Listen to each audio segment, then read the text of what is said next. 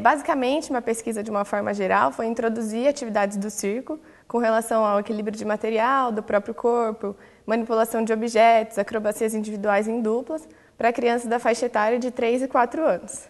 Eu escolhi o circo porque ele é parte da nossa cultura e as diretrizes curriculares que orientam a educação infantil prevêem que as crianças entrem em contato com diversas manifestações culturais, como as lutas, as ginásticas, e o circo engloba esse conteúdo também. O objetivo da minha pesquisa, além de introduzir o circo na educação infantil, foi avaliar o desempenho motor de 30 crianças da creche área da saúde aqui da Unicamp, da CAS.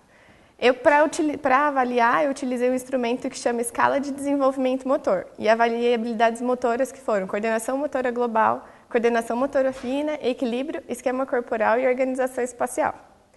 É, pela análise e aí o resultado das, dos resultados que eu tive no pré e no pós-teste, foi possível verificar que as crianças tiveram melhora no desempenho motor de coordenação motora global, equilíbrio e esquema corporal.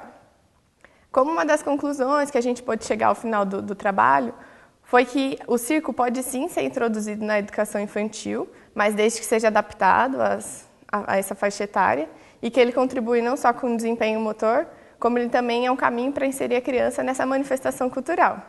É, além disso, o circo promove um estado emocional na criança quase sempre associado à alegria, o que é muito positivo para trabalhar porque as crianças ficam mais receptivas. Tanto no PIBIC quanto na SBPC em São Carlos que eu participei, é interessante ver que as pessoas se interessam pelo que você faz, assim. Principalmente na SBPC, porque como é um evento nacional, muitas pessoas do norte, né, convive, é, você convive ali nesses dias, né?